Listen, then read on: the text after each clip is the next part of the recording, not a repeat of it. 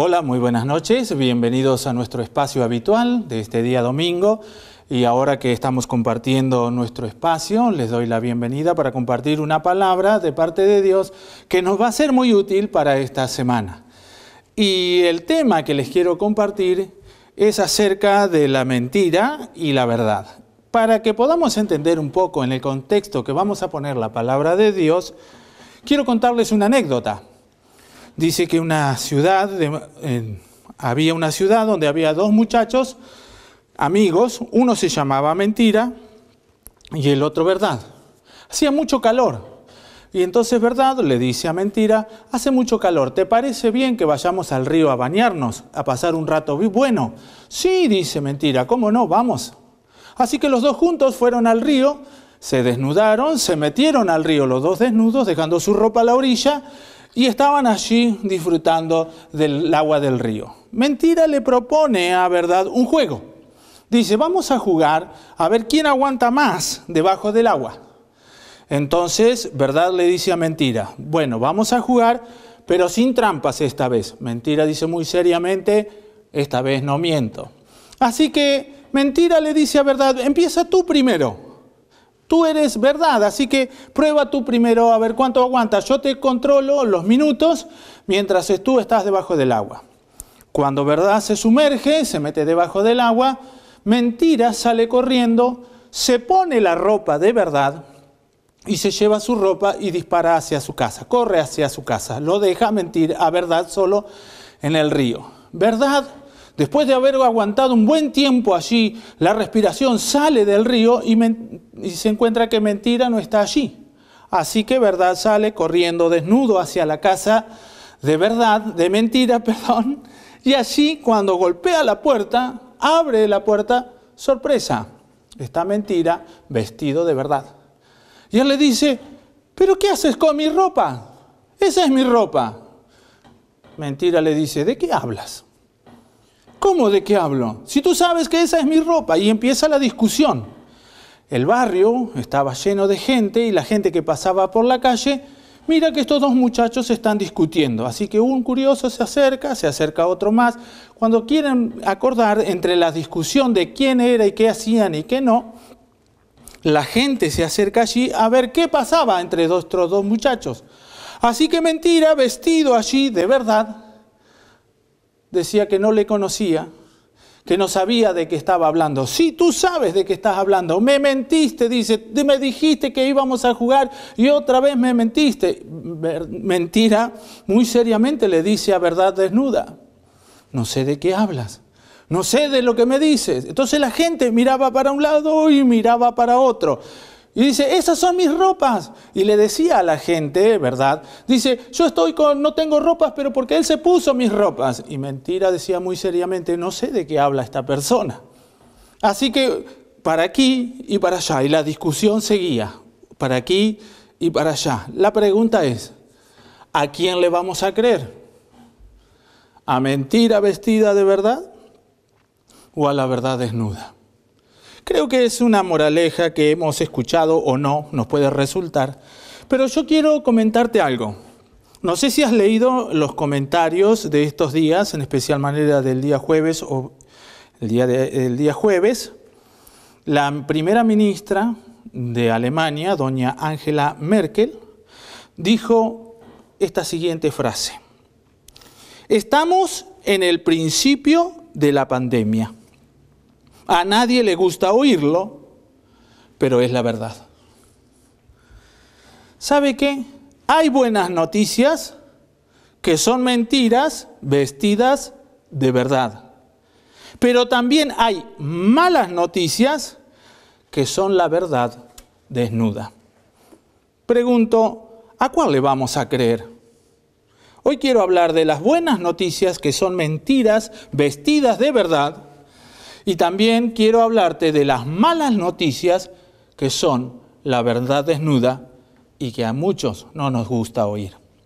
Así que debemos reconocer, debemos aceptar la realidad, porque hay malas noticias que son verdad y que no queremos escuchar. pero se escuchan más buenas noticias que sabemos que son mentiras, porque nosotros mismos inclinamos nuestro oído, ponemos nuestra atención a esas noticias. Se ha generado una industria de la falsa noticia y la desinformación.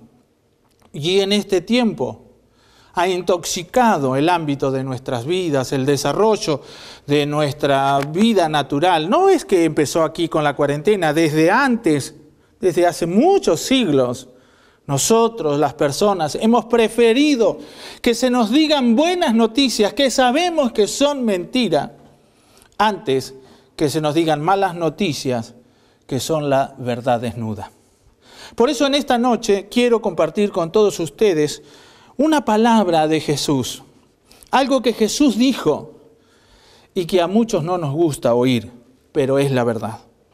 Entonces, en el contexto de estas cosas, quiero que escuches bien lo que voy a leer porque me interesa mucho lo que vamos a decidir después que compartamos esta palabra. Así que vamos a leer en Mateo capítulo 24, versículo 20 hasta el 44. Es una lectura un poco extensa, pero va a ser muy útil, muy necesaria para nosotros oírla con atención. Así que escucha bien y esto es lo que tengo para leerte de la palabra de Dios. Mateo capítulo 24, versículo 20 hasta el 44. Así dice, orad por vuestra huida que no sea en día de reposo, porque habrá entonces gran tribulación, la cual no ha habido desde el principio del mundo hasta ahora, ni la habrá. Y si aquellos días, dice Jesús, no fuesen acortados, nadie sería salvo. Mas por causa de los escogidos, aquellos días serán acortados. Entonces, si alguno te dijera, mirad, allá está el Cristo, o mirad, allá está, no le creas. Porque se levantarán falsos Cristos, falsos Mesías, falsos profetas, y harán grandes señales y prodigios de tal manera que engañarán, si fuere posible, aún a los escogidos. Escuchen que ya se los he dicho. Pero si te dijeran, está en el desierto, no salgas. O si te dijeran, está en los aposentos, no lo creas. Porque como un relámpago que sale del oriente y se muestra hasta el occidente, así será también la venida del Hijo del Hombre. Porque donde quiera que estuviera el cuerpo, allí se juntarán las águilas. E inmediatamente después de esta tribulación de aquellos días, el sol se oscurecerá, la luna no dará su resplandor, y las estrellas del cielo y las potencias de los cielos serán conmovidas.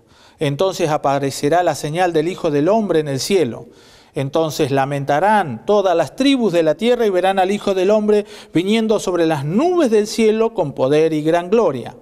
Y enviará sus ángeles con gran voz de trompeta y juntará a los escogidos de los cuatro vientos del, del extremo del cielo hasta el otro. Jesús dice, de la higuera aprende la parábola. Cuando ya su rama está tierna y brotan sus hojas, sabéis que el verano está cerca. Así también ustedes, cuando vean que todas estas cosas comienzan a suceder, conozcan que el tiempo está cerca. Y les digo esto, que no pasará esa generación hasta que todo sea cumplido. El cielo y la tierra pasarán, pero mis palabras no pasarán. Pero el día y la hora nadie lo sabe, ni aun los ángeles en los cielos, sino solo mi Padre. Más como en los días de Noé, así será los días de la venida del Hijo del Hombre.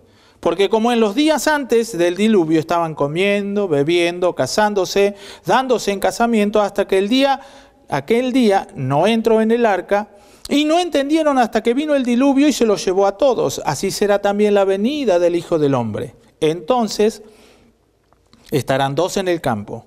Uno será tomado, el otro será dejado. Dos mujeres estarán moliendo en un molino. La una será tomada y la otra será dejada. Velad pues, porque no sabéis a qué hora debe venir vuestro Señor, pero sabed esto, que si el padre de familia supiese a qué hora el ladrón habría de venir, velaría y no dejaría minar su casa. Por tanto, también ustedes estén preparados, porque el Hijo del Hombre vendrá a la hora que no pensáis. ¿Sabe una cosa que yo leía esto y consideraba lo que dije al principio de este comentario? Que estamos viviendo un tiempo donde nos está costando saber y decidir quién dice la verdad y quién dice la mentira. Pero nos encontramos con esta realidad, que la mentira se viste de verdad y que la verdad es cruel, es desnuda y nadie la quiere oír. Pero ¿sabe qué? Yo le animo a que pensemos sobre lo que significa escuchar una mala noticia y que es verdad antes que escuchar una buena noticia y descubrir que es una mentira. Es frustrante. La verdad no frustra. Pero cuando descubres que alguien te estaba demostrando algo como verdadero, como cierto, y descubres que es mentira, es frustrante, te amarga, te desilusiona, te destruye, te hiere. Y eso pasa muchas veces en las relaciones, en todos los aspectos de nuestra vida, de nuestro comportamiento, pero más aún ahora, en este tiempo, en esta circunstancia, hay mucha, mucha noticia que nos está invadiendo, que nos está intoxicando, que nos está bombardeando, que nos está inundando el ámbito de nuestra vida todo el tiempo y parecen muchas de ellas malas noticias. Pero hay que ver si nos están diciendo como una mala noticia que nosotros la calificamos, la identificamos así, si esa mala noticia no es una verdad desnuda. Porque probablemente descubramos que hay muchas buenas noticias o noticias que parecen buenas, pero por detrás son todas mentiras vestidas de verdad. Cuando una mala noticia es verdad y cuando una buena noticia es mentira? Yo diría que eso se puede comprobar de manera simple. No necesitamos ser grandes genios del discernimiento. No necesitamos muchas luces para saber cuando una cosa es verdad y cuando otra cosa es mentira. Pero sucede que la mentira se viste de verdad. Y cuando aparece la verdad, por lo general, aparece de manera desagradable, desnuda, que no la queremos ver y no la queremos ir. Entonces, yo quiero que en esta noche consideres a qué estás inclinando tu oído. En estos días, ¿qué te ha ido queriendo escuchar más? No, no pasa nada. No, lo que pasa es que esto es una conspiración política mundial. No, y bueno, y empezamos ahí a especular. Encontramos gente que mira para allá, ve una realidad, observa una situación y dice, pero esto... Y vamos para allá y encontramos ahí, te enfrentas con una palabra como la que dice Jesús. Y Jesús vino hablando hace dos mil años antes de que sucederían ciertas cosas en un futuro que demostrarían un tiempo especial y que sería la demostración que lo que él dijo en ese momento es verdad. Por eso hay una gran nube de incertidumbre, hay un gran cúmulo de ámbito que nos intoxica con mucha información. Claro que la información tiene que ser lo más clara y directa posible para el oyente, pero más allá de la noticia que estamos dando, tenemos que saber si es verdad o es mentira. ¿Sabe qué? Cuando una mala noticia es verdad, cuando lo que Dios dice en su palabra a nadie le gusta oír, pero luego se cumple. Una mala noticia es verdad cuando lo que Dios dice en su palabra a nadie le gusta oír, pero luego se cumple. Yo no sé si a muchos de ustedes, mientras yo leía, no sé a cuántos de nosotros leer relatos y cosas de la Biblia en especial manera, que Jesús haya dicho estas cosas que vendrían, que son cosas terribles sobre el mundo entero, nos esté costando creerlas. Y entonces parece que son malas noticias. Pero el asunto que, aunque tengan aspecto de mala noticia, estamos descubriendo estamos eh, comprobando que lo que Jesús dijo se cumple, es verdad. Por eso, una buena noticia que es mentira es algo que aquel que quiere contradecir lo que Dios dice y luego comprueba que lo que Dios dice es verdad. No sé si entendiste eso, pero lo voy a volver a repetir. Muchas veces queremos dar buenas noticias, queremos descalificar lo que Dios dice, queremos decir eso, es de la religión, eso es de los evangélicos, eso tiene que ver con la gente religiosa. Pero resulta que lo que Dios dice, lo que los evangélicos creemos y proclamamos, se está cumpliendo cabalmente. Y no es porque nosotros somos creyentes, sino porque Dios cumple con su palabra. Eso es lo que está ocurriendo. Así que hoy quisiera saber y pensar hacia dónde estamos inclinando nuestra atención, nuestro enfoque, nuestro oído. ¿Cuáles son las noticias a las que queremos oír? ¿Queremos oír buenas noticias nomás que están son mentiras disfrazadas de verdad? ¿O aunque no lo quieramos oír, no nos guste oír lo que se nos dice, podamos descubrir que tiene aspecto de malo, porque la verdad no es una mala noticia, pero cuando te llega en el momento que no esperabas, cuando aparece en el momento que no querías y no creías que iba a suceder, todas esas noticias que son malas y se cumplen son la verdad desnuda muchas veces en nuestra vida.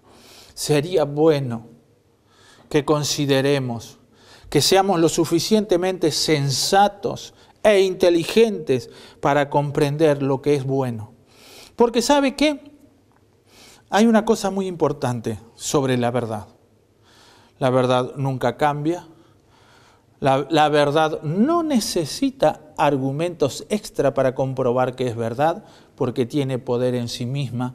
Es verdad hoy, es verdad mañana, fue verdad ayer y será verdad por siempre. Ese es el poder de la verdad. Pero cuando uno cree en la verdad, acepta la verdad, es liberado, es fortalecido, es alumbrado y es, le da la suficiente capacidad para enfrentar lo que viene. Sabe a qué se tiene que enfrentar. No hay incertidumbres, no hay caminos de oscuridad. Sabes que lo que se te dijo es verdad. Y cuando nos enfrentamos a la palabra de Dios, que esto es lo más importante, porque Jesús dijo y declaró que la palabra de Dios es verdad. Él dijo, tu palabra es verdad. Y él dijo, y conoceréis la verdad. Jesús dijo, y conoceréis la verdad, y la verdad os hará libre. ¿No será que vivimos atemorizados que vivimos confundidos, que vivimos más bien paralizados y, limitados en nuestra vida, porque no queremos oír lo que nos están diciendo. Yo no sé si alguna vez oí una frase tan corta y tan sabia de una persona, y la vuelvo a repetir de esta señora, la primera ministra de Alemania, doña Angela Merkel. Estamos en el principio en el inicio de una situación que nadie sabe su completo desarrollo. Y aunque a muchos de nosotros no nos guste oír eso, eso no significa que no se nos esté diciendo la verdad. Es la verdad. Si una persona de ese calibre, de esa capacidad a nivel mundial, nos está confrontando a todos los habitantes de este planeta con una realidad que nos cuesta reconocer. Ahora vamos a enfrentar otros días más, quizá, de cuidados intensivos, de protección, de, eh, estar alertas, de seguir todo con una rutina en esta cuarentena que se está haciendo larga, que nos agobia, que nos cansa y que no sabemos qué hacer. Pero si nos están diciendo la verdad, nos están mostrando un camino claro, nos están llevando a un rumbo claro, nos están diciendo a dónde vamos a poder llegar. Qué triste sería que nos dijéramos que hagamos lo que quieramos, no hay problema, y empecemos a morir y a nadie le importe nada. Claro que eso no nos gusta escuchar, pero esa es la realidad. Yo quiero traerte dos buenas noticias que son una buena noticia en verdad, aunque parezcan una mala noticia.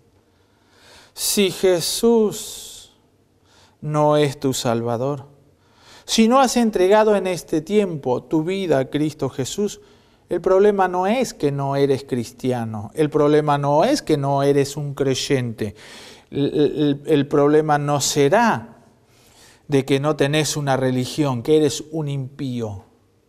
El problema es de que si Cristo Jesús no es tu Salvador, a nosotros, a los que no han creído, a los que no le han recibido como su Salvador, les espera una condenación eterna.